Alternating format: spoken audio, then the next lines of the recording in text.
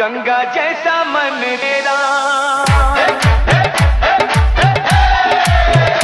गोरे मुख पे सवे